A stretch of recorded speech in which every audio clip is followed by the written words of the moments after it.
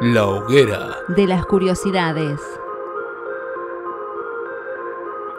Buenas noches, ¿cómo andan? Bienvenidos una vez más aquí a la clavícula del diablo en este segmento que vimos en llamar La hoguera de las curiosidades, el segmento curioso de la clavícula.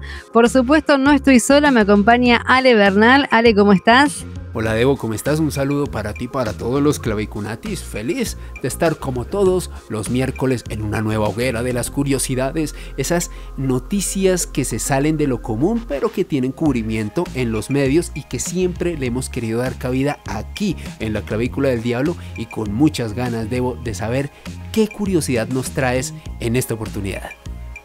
Bueno, vos te acordás que hace algunas hogueras estuvimos hablando de una situación de de amor frustrado, ¿no? Este muchacho que hizo el sándwich de mortadela, que no cayó bien, terminó solo, pero de alguna forma él quiso demostrar su amor cocinando algo casero, ¿no?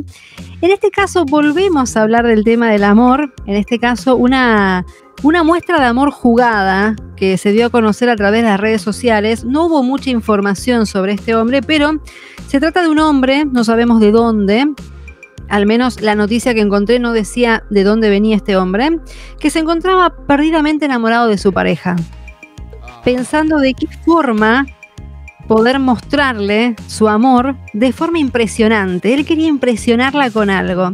Generalmente, vos me, sabrás decir, cuando un hombre está muy enamorado, ¿qué, ¿qué es lo que suele hacer? Muchas pavadas. Créeme, muchas de las cuales uno a veces se arrepiente, pero chicos, el amor es así y como diría el gran filósofo contemporáneo Edwin Olaya, la vida es una caja de bombones. Así que hay cosas que suceden. Este hombre estaba muy enamorado, quería demostrarle su amor profundo a su mujer, a su pareja, y luego de una meditación muy profunda, finalmente encontró la mejor opción para plasmar su amor. Hacerse un tatuaje. Por favor. Yo no haría no, pero, conozco gente, por ejemplo, no sé si, si recuerdas de hoy y, los clavicunates que lo pongan aquí en los comentarios, en su época Johnny Depp se tatuó el nombre de Winona Ryder. No, no, no, no, no, no, no, no, no, Ale, no, no, el nombre no.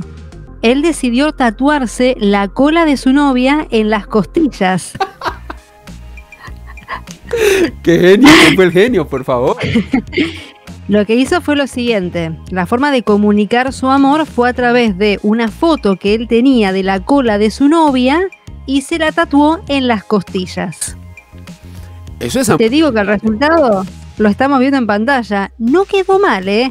Lo que sí es como un poco incierto saber esas pompis a quién pertenecen, ¿no? Incomprobable. Eh, Debo, eso es amor. Sí, tú, pareja, si tú llegaras a tenerla, hicieras ese tatuaje, ¿qué dirías con esa muestra irrefutable de amor genuino? Y es medio raro.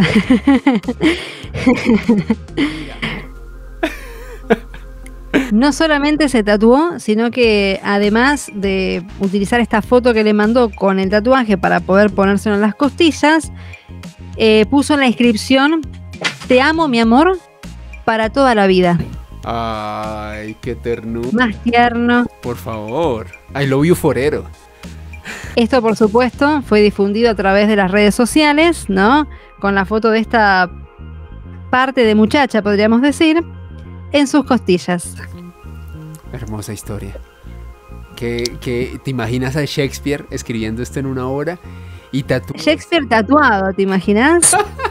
Con la cola de su pareja. Sería una cosa raro. Ideas, ideas para series de Netflix, guionistas, contacten arroba devorapet, arroba gmail.com. Ahí ella suelta muy buenas ideas para series, ya saben, pendientes.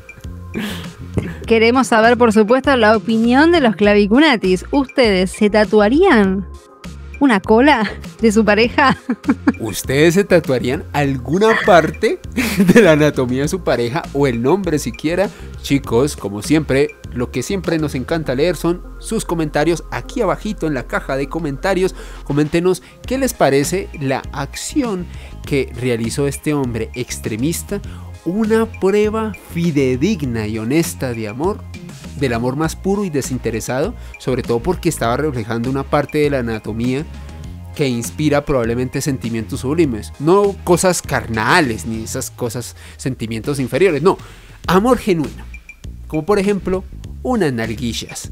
¿Qué opinan ustedes? Hay gente que le pone el pecho a las balas y bueno, gente que tal vez utiliza otras partes, ¿no? Otras partes para las balas. Así que chicos, queremos conocer su opinión y hasta este punto los acompañamos Alejandro y Débora. No olviden que nos vemos la próxima semana en una nueva hoguera de las curiosidades aquí en la clavícula del diablo. Chao chicos. Chao, chao. Además de encontrarnos aquí en la clavícula del diablo, tanto Alejandro Bernal como Débora Pedreira tenemos espacios alternativos. A mí me pueden encontrar en el canal de YouTube El Kaiser Analógico, un canal de videojuegos donde van a poder ver reseñas de videojuegos directos y también entrevistas en vivo. Al igual que también mi otro canal, Otro Día para Hacer, en donde van a encontrar presentaciones de bandas independientes, entrevistas en vivo y también informes musicales. Y por mi lado me pueden encontrar en iWas Games, donde estoy realizando directos, reseñas de videojuegos, información, video reacciones y todo lo relacionado con el apasionante mundo de los videojuegos. Y también tengo un espacio de enigmas llamado Mandrágora Misterios, donde realizo investigaciones y hago entrevistas sobre este tópico tan intrigante. Me pueden encontrar tanto en Twitter como en Instagram como arroba DeborahPed. Y por mi parte me pueden encontrar en Facebook, Twitter e Instagram en arroba Alebernalpress con doble S.